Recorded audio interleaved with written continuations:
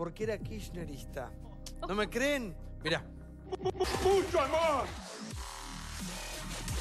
Yo cuento una cosa que es personal. Tuve una pareja cinco años y nos separamos hace un mes porque ella sigue siendo kirchnerista. El problema es que en la derrota Sí. los pensamientos se exacerban. En el triunfo te veían como un tonto equivocado. Es verdad. Y entonces no pasaba este Todo- gil. to- todo- todos son caballeros cuando van ganando Claro. y desleales y Cuando descorteses van cuando van perdiendo perdiendo. no se van caruna. ¿Quién Ah, eso es rompió, verdad. Julio? ¿Quién rompió? Este, el kirchnerismo. No, no, bueno, pero... Atención, la grieta en el amor. eh, dice Bárbaro, me terminé separando de mi mujer porque era kirchnerista. Sí. Bueno, la verdad, yo pienso que debe haber, no, no me quiero meter en la vida privada de Bárbaro, supongo que habrá habido otras motivaciones que hicieron que esa relación personal... no, pero esto pasa en todas partes, Débora. Hagámoslo grande al tema. Pasa en todas Bueno, partes. está bien, eh, yo- bueno, Ah. eh, se han separado miembros de familias, hay familias en donde ya... eh, Yo lo he visto, ¿sí? el amistades de toda la vida que ya no se hablan. Eso sí, eh, por ejemplo, eh, reuniones de familia en donde se dice, bueno, no vamos a hablar de política, porque si no esta reunión termina mal. Entonces ya se, se pone como de antemano eh, ese, ese sobreentendido de hablar de otras cuestiones y no de la situación ¿Y política. está bien o está mal? ¿Sabes que yo tengo hijos ¿Qué que dicen, no vayas a Intratable. ¿Cómo vas a Intratable? Y yo le digo, mirá, es el programa que más se ve, uno puede expresar opiniones, voy ahí a decir lo que pienso. Aguanta, bueno, pero eso lo demasiado mal. Bueno, a veces lo apoyo, a veces no lo apoyo, a veces critico. Voy a expresarme, es un programa donde uno se puede expresar. Pero uno lleva los afectos primero pero que nada y discute y lleva, lleva conversaciones. Yo creo que lo de Julio, eh, coincido con Débora, se va a haber separado por otra cosa. Pero además- Y se la aguantó. Lo dijo serio, ¿eh? Yo soy amigo personal de Julio hace 40 años, lo conozco muy bien y, y además lo adoro. Yo creo que lo que pasó ahí, primero habían otros, otros asuntos que por supuesto subyacían, que no los voy a ventilar acá y, y no, no tienen importancia tampoco, pero existían. Pero lo que más le, le- le- le dio bronca a Julio, eh, que siempre la sabía si kirchnerista, discutían sobre el tema, trataban a veces de no hacerlo, es que cuando empezó a salir con evidencia lo que, eh, lo que realmente había pasado en el kirchnerismo, lo que revelaba por abajo, lo que no se veía, que tenía que ver con la corrupción real, la gente contando plata, ahí se exacerbó la diferencia porque la otra persona seguía insistiendo como si todo eso no existiese, si fuese un cuento. Y yo, y yo creo que ahí te- se- Julio, "Ah, esto no puede Pero ser que quiero no se dé aclarar que esto". Julio era kirchnerista. Julio Bonano fue funcionario del gobierno, sí, fue interventor de- de, Confer y durante los primeros cinco Ah, años Néstor, del sí. Néstor, fue sí, bueno, muy porque era- una enorme diferencia entre Néstor y Cristina. Pero lo dijo Ahora, en serio, ¿eh? Entonces duraron un montón de tiempo esta pareja desde que él hace el salto a la oposición. No son- no sé si son Chicos, igual un minuto. No es tan minuto, complicado. minuto, minuto. Acá estamos discutiendo la vida amorosa Claro. de Julio Bárbaro. Se querían o no. A lo que vamos, a lo que vamos. De hecho, se hablaba de que Martín Seffel y Pablo Echarri tampoco Sí, se más. terminaron Se- sus- sus- Claro. Entonces, Na- el siguiente- Natalia, Natalia, nuestra amiga Natalia, nuestra amiga Se Natalia. también, peleó. esta lo contó acá El tema acá, Bueno, el tema acá, cómo, minuto, cómo la política, las convicciones, que, ah, bueno, igual toda la vida pasó esto. No, no, no, a ese nivel no. ¿A ese nivel no? Nunca, Bueno, jamás. no, pero jamás. ¿Cómo, Sí, con el cómo- Con el cómo peronismo, pueden sí. ser más No. fuertes o superar al amor o al parentesco y todo y, y terminar di- dividiendo, separando? Sí, por favor, René. No, hay un momento en que las ideas se empiezan a transformar en secta. En las parejas, cuando una persona cambia de religión, también se separan. El problema de la grieta son los puntos extremos donde empezás a sectarizarte y fanatizarte. Eso de quebrar a la sociedad, es necesario quebrar a la sociedad para que exista la secta. Y esto daña a toda la sociedad y a la familia.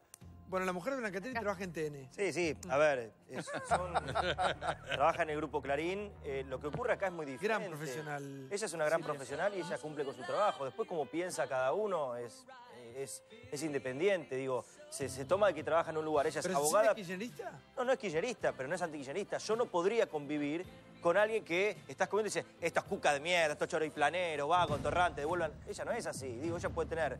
eh, dijo él, puede-. No, no, no. Ella puede ser crítica en muchas cosas, puede reconocer otras y convivimos en eso. Siempre que haya un marco de respeto... ¿Pero cual- discuten de política en tu casa? no, no, porque no, no, no, en este momento no hay mucho para discutir de política. Pero- Discutir no hay que discutir mucho. Está toda la vista lo que está pasando. Lo de Este, Lázaro. No, no, lo que pasando en el gobierno. Es que ahora discutíamos. Igualmente, Ahora- igualmente.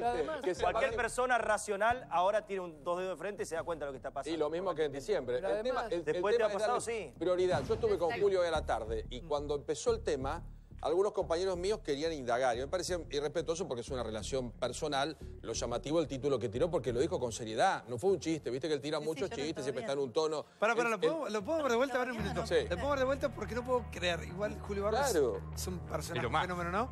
Pero él dice, me separé de mi mujer, aparte un tipo ya de muchos, muchos años. Y de- varias- de varias separaciones. ¿Por qué era kirchnerista? A ver, mira. Yo cuento una cosa que es personal. Tuve una pareja cinco años y nos separamos hace un mes porque ella sigue siendo kirchnerista. El problema es que en la derrota los pensamientos se exacerban. En el triunfo te veían como un tonto equivocado. Es verdad.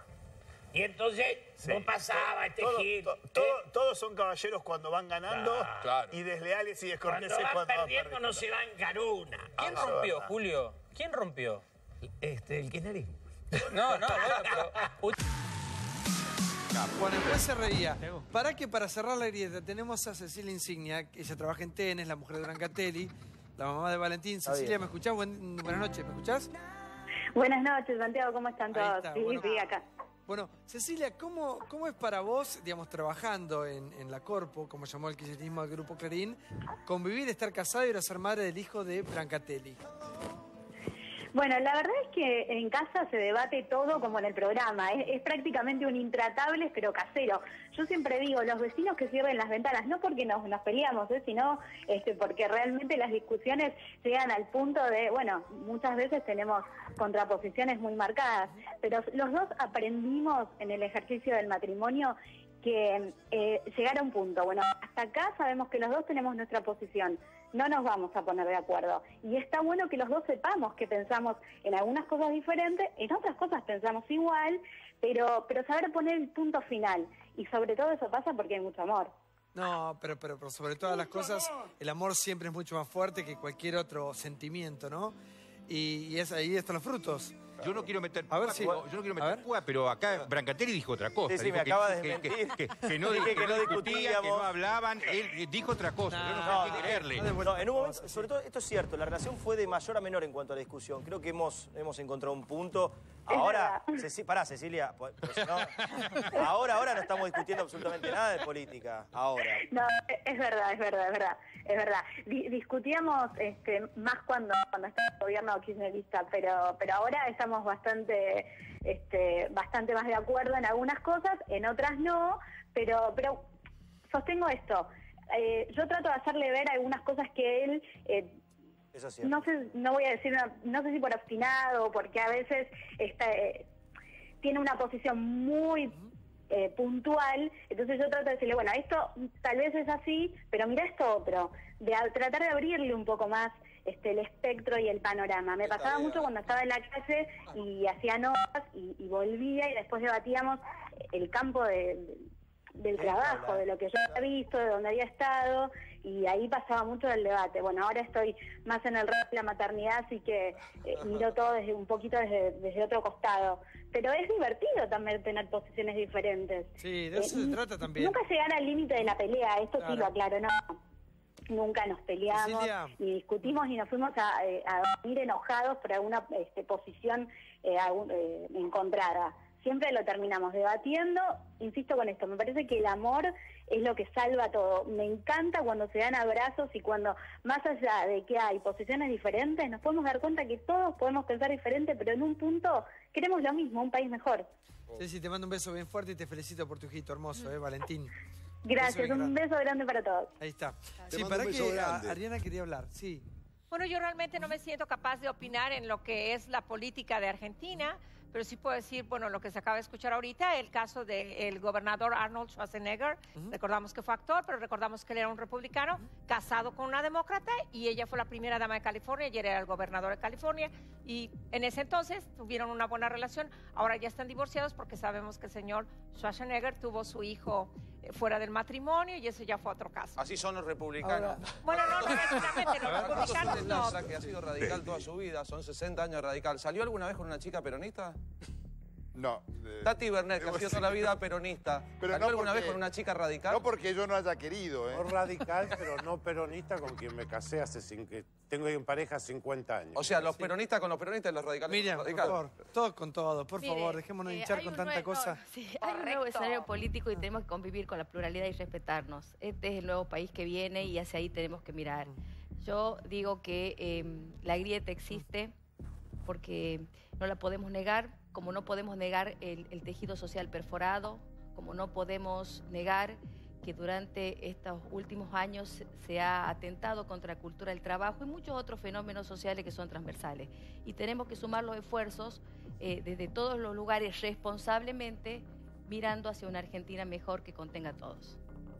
Eh, Santiago, no, yo, eh, yo coincido con Miriam, obviamente, pero la verdad es que la grita no debería existir. Y a mí me parece que es gravísimo que fanaticemos las posiciones políticas de esta manera, porque cuando hacemos estas cosas, lo que dejamos de discutir es política en serio. Entonces es imposible encontrar comunes denominadores y es imposible encontrar soluciones a los problemas. Porque si esta grieta se traslada a todos los ámbitos del país, es imposible que nosotros encontremos el camino para resolver los problemas. ¿Qué, por eso palabra, digo, qué palabra- por- palabra podemos encontrar? por eso digo- me plantea lo siguiente. Una cosa Sí. es la grieta con odio y con violencia, pero yo sí me quiero diferenciar de cierta gente. Yo no Pero quiero está ser- bien. Yo no quiero estar del lado de, por ejemplo, de Fernando Iglesias, que no está acá y no se puede, digo, Pero está bien, hay, está bien. hay- hay- hay ideas, hay, hay ideas muy puntuales del macrismo con las cuales yo no quiero pertenecer a- a- al mismo, digamos, eh, del mismo sector que, digo, hay sensibilidad social, me preocupan los trabajadores, me preocupan que Aerolínea sea este, del Estado, privado no es lo mismo, que Arsate esté o no esté en el aire no, es lo- no me da lo mismo. A mí no me da lo mismo todo. Pero está bien, Yo sí no, no, no te tiene que dar lo mismo. Yo coincido con pública, vos. paca paca, Yo este, coincido Canal con vos porque hay cosas- hay Deport cosas, TV, con toda sinceridad. quiero el fútbol para todos, Con quiero que los jubilados se sigan Hay- jubilando con una moratoria, quiero Bueno, que sigan los bien. remedios gratis. Yo sí marco una grieta porque yo cosas- soy diferente al resto. Hay cosas que yo, por ejemplo, jamás podría compartir con el peronismo y hay cosas que yo jamás podría compartir con el kirchnerismo. Yo también podría decirte que yo estoy convencido que el kirchnerismo lamentablemente utilizó a la pobreza en la Argentina para permanecer en el poder y un montón de... y, y estas cuestiones de la corrupción que estamos no, hablando. Pero, pero a ver, pero a ver, fue pero yo lo que digo es lo siguiente, pero yo ¿de lo que digo es lo siguiente, nosotros tenemos la obligación, hizo. nosotros la tenemos la obligación de trabajar, nosotros tenemos la obligación, no, no es chamullo, nosotros tenemos todos no la obligación de trabajar para resolver los problemas de la sociedad. Pero no, pero a ver, a ver, Brancatelli, escuchame, ¿vos crees que el gobierno anterior lo hizo? Si el gobierno anterior lo hubiera hecho, supuesto, no nos hubiéramos... públicas, pero, escuela, plan de vacunación. pero ¿cómo? Y los desocupados que, a ver, todos los desocupados que hoy tenemos en la Argentina son consecuencia del gobierno hacer. de... Y ahora hay mucho más que antes. Pero no. Había que corregir las cosas. Pero a ver, la verdad es que el gobierno anterior fue un desastre en la economía. Nada, porque vos y él, o vos y yo, pensemos diferente. La grieta está dada porque al pensar diferente, si es que pensamos diferente, vos me tildes de gorila, de cipayo o de antipatria, o vos me pegues un palazo Sicario o me pegues un puñalazo. No, yo eso no- es... no, pero yo no, esa diferencia dije, por siempre eso- que no eso- haya ni agresión ni nada, Por eso, está bueno marcar la diferencia y no tenemos que renegar digo, de, esa digo, distancia que es hay. la grieta, Yo lo la, quiero- la yo quiero grieta que Leuco, dado- por ejemplo, la grieta que se ha Alfredo, dado en. Argentina se determinó por la violencia verbal y la intolerancia. Si sacamos la intolerancia de lado, vos y yo podemos pensar diferente y no va a haber grieta en la Argentina. Tenemos partes, que ponernos de acuerdo en una cosa, que hay que respetar No, la ley, perdón, hay que hay- respetar la ver, Constitución y las Hubo instituciones. dos partes en la intolerancia. Fernando Iglesias, ya que lo mencionaste, escribió. Pero no está mañana- Fernando Iglesias. Sí, acá. por eso no, es- quiero, quiero hablar bien de él. Escribió esta mañana en La Nación un artículo muy interesante que incluye intratables en- en- desde el primer párrafo y la discusión que tuvo aquí con Aldo Piñanelli. Hay discusiones que son posibles y él lo que propone es que en la Argentina hoy hay que discutir todos los temas echándole la culpa a todo lo malo que pasó a las dictaduras y a los gobiernos nacionales y populares, pero propone una discusión. El problema de, de esa discusión es si se establecen estos términos en que todos podemos discutir o si la discusión incluye, como dice Mariano, que después quieras cagar a trompada a la gente como pasó O con escrache. Iglesias es- en este mismo programa con Piñatelli. ¿Quién está en contra de pavimentar las 200.000 cuadras que no tienen pavimento en el conurbano bonaerense? ¿Dónde Nadie. está la grieta, muchacho? ¿Quién está en contra? Nadie. No, Nadie está en contra. Estamos todos a favor. ¿Sí? Entonces, lo que no estamos discutiendo es cómo. No se está discutiendo. Yo, digamos, me dedico a la creación de empleo. ¿Cómo Cuerno hace un Estado para crear 100.000, 200.000, 300.000 puestos de trabajo? Escucho todo tipo de programas donde se habla de que hay que crear empleo, que hay que crear empleo. A ver, fideicomiso al costo en cada barrio, 35 asentamientos en Moreno. ¿Qué persona de Moreno haya votado a Cambiemos, al Frente para la Victoria o al Frente Renovador no quiere poner 50 cuotas de 1.500 mangos para urbanizar su barrio? Nadie, quieren todos. ¿Quién no lo discute ni los medios ni la política? Bueno, vamos directamente al otro tema que tiene que ver con las patotas y la